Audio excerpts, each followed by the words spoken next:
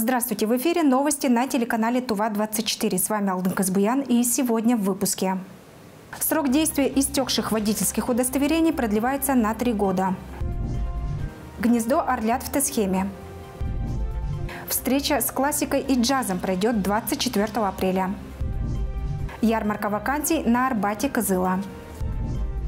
19 апреля в Москве прошла рабочая встреча президента Федерации спортивной борьбы России, олимпийского победителя по греко-римской борьбе Михаила Мамиашвили и главы Республики Тыва Владислава Ховалыга. В ходе встречи было подписано соглашение о проведении чемпионата России по вольной борьбе в Кызыле. Для республики проведение соревнования такого уровня – это возможность показать себя. Тувинские борцы – одни из самых сильнейших в мире. Спортивному сообществу республики чемпионат даст импульс для дальнейшего развития. Надеюсь, после чемпионата России по вольной борьбе в Туве останутся хорошие возможности продолжать тиражировать наш олимпийский вид спорта, который так востребован. Огромное спасибо главе Республики Тува Владиславу Хавалыгу. Объединив усилия, мы решим все задачи, которые перед нами стоят. На площади Арбата в Кызыле сразу 8 организаций приглашают на работу горожан. Соискатели могут пройти собеседование или проконсультироваться со специалистами Центра занятости Кызыла. Подробнее Айдана Ховалык. Ярмарка вакансий – это быстро, удобно и эффективно. Ведь вы можете оставить свое резюме сразу нескольким работодателям в течение часа. Ярмарка вакансий проводится Центром занятости Кызыла в рамках недели занятости. Среди представленных компаний «Энергострой», «Верба», «Кызылгортранс», гостиница «Буян-Бадыргы», Департамент по образованию мэрии Кызыла и Минфин Тувы. По образованию я экономист и вот проходила мимо и увидела, что тут проходит ярмарка вакансий и решила оставить свое резюме в Минфине. Закончила в прошлом году и пока что подрабатываю мастером по ногтевому сервису. Хотелось бы поработать э, по своей специальности. Граждан от 18 до 40 лет приглашают на военную службу по контракту в Минобороны Российской Федерации и в авиационный отряд Росгвардии. Служба по контракту – это достойная зарплата, санаторно-курортное лечение, служебное жилье, военная ипотека и бесплатный проезд по России. Направляем по всей территории Российской Федерации. Как на республике Тыва, на ее территории, так и от Калининграда до Дальнего Востока. Заработная плата от 29 э, тысяч, котируется она до 100-150 тысяч.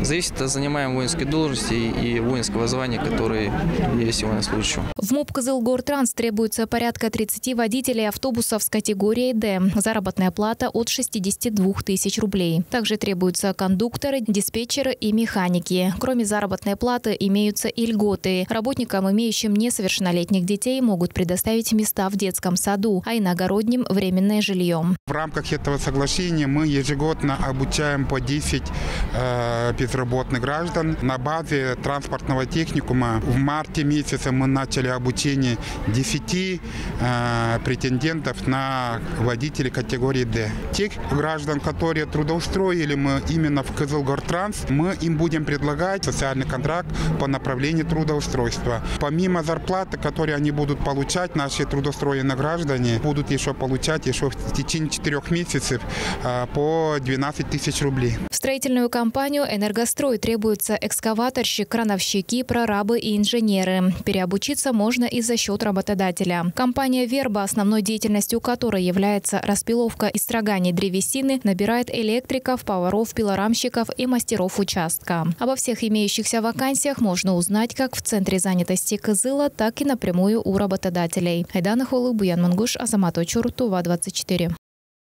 В селе Чергаланды Тысхемского района заработал новый спортивный зал, построенный в рамках губернаторского проекта «Гнездо Орлят» из Ирлерның Уязы. В деревянном строении в виде юрты юные спортсмены занимаются физической культурой и различными единоборствами. Тему продолжит РС Мангуш.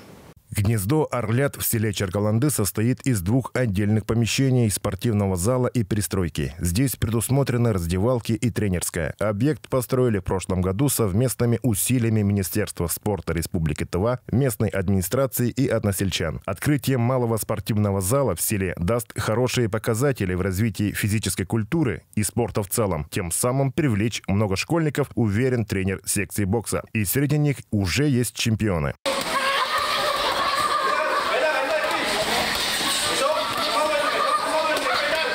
Да, есть уже призеры Сибирского федерального округа, чемпионы первенства Республики Тува. У нас сели э, уже вот сейчас э, ребята готовятся тоже Сибирский федеральный округ. Э, у меня два, двое боксеров. Сейчас уже проходит сборы здесь, в Самалтае. Пять спортивных объектов в форме юрты построены по всей Туве в рамках губернаторского проекта «Гнездо Орлят». Аналогичные спортивные объекты можно увидеть и в Кызыльском, Мангунтайгинском, Барунхемчикском, Дзунхемчикском и Чахольском районах, где ходят на секции дети малонаселенных пунктов. РС Мангуш, Буян Мангуш, Азамат Ачур, телеканал Тува-24 из Тесхемского района. В Кызыле полицейские выявили и пресекли два факта незаконной организации и проведения азартных игр. 15 апреля в результате оперативно-розыскных мероприятий сотрудники МВД по Республике Тыва выявили и задокументировали факт организации и проведения азартных игр в нежилом помещении, расположенном в доме номер 35 дробь 1 по улице Кочетова города Кызыла. На следующий день оперативники МВД также выявили и пресекли факт незаконной игорной деятельности в помещении, расположенном в доме номер 23 по улице Комсомольской города Кызыла. В настоящее время сотрудниками полиции проводятся оперативно-розыскные мероприятия, направленные направленные на установление всех лиц, причастных к организации незаконной деятельности игровых залов. В указанных действиях усматриваются признаки преступления, предусмотренного статьей 171 прим. 2 Уголовного кодекса Российской Федерации «Незаконная организация и проведение азартных игр».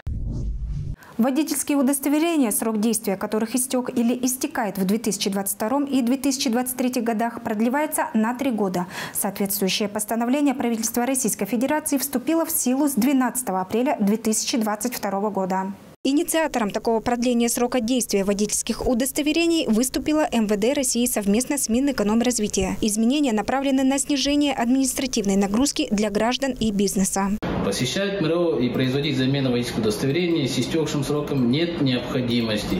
Но если вы являете желание продлить действие документов на 10 лет, проходите стандартные процедуры, то есть проходите медицинскую комиссию, оплачиваете госпошлины и производите замену. Это нововведение коснется как водителей, управляющих транспортными средствами в личных целях, так и тех, кто управляет транспортными средствами при осуществлении трудовой и предпринимательской деятельности. Теперь в течение трех лет необходимости в замене просроченных просроченных водительских удостоверений у них не будет. Они продлятся автоматически. Для замены водительского удостоверения и первичного получения гражданам необходимо записаться через портал госуслуг для того, чтобы воспользоваться скидкой 30%. Либо прием осуществляется также по живой очереди каждый день с 8.30 до 13 часов, кроме воскресенья понедельников. МВД России отмечает, что на выдачу водительских удостоверений при истечении срока приходится большая часть работы. Поэтому в продлении продлении срока действия водительских удостоверений позволит более 5 миллионам водителей в ближайшие три года продолжать беспрепятственно управлять транспортными средствами. Алдын Казбуян, Айдана Сенденма, Тува, 24.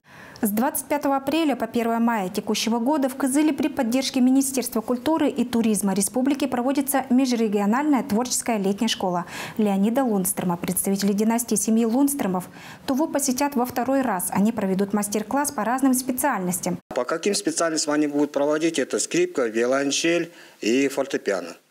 Приезжают, значит, пять человек 25 числа. Это э, династия, как я уже сказал, Лунстромов, семья Лунстромов. А главный э, организатор это Леонид Лунстром. Это все скрипачи.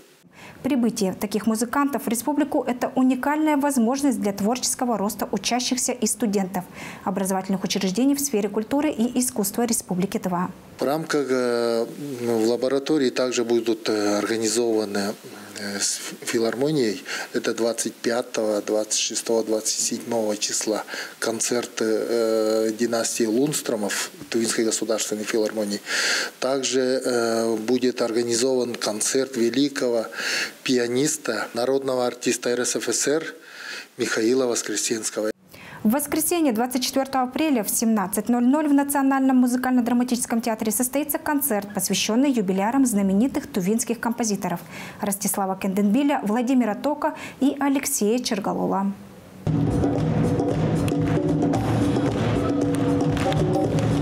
Программе инструментальные произведения композиторов, а также известные и любимые всеми песни в обработке для духового оркестра, такие как «Дагларым», «Песня Мергена» и многие другие произведения. В программе также примет участие Тува Джаз Бенд с джазовыми произведениями Владимира Тока.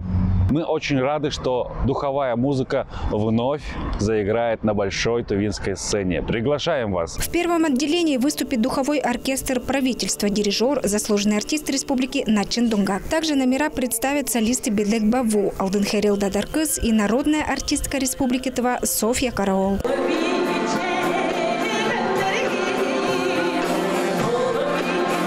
Билеты можно приобрести в кассах Национального театра. Побывать на концерте можно и по Пушкинской карте. Алдын Казбуян, Айдана Сенденма, Тува, 24.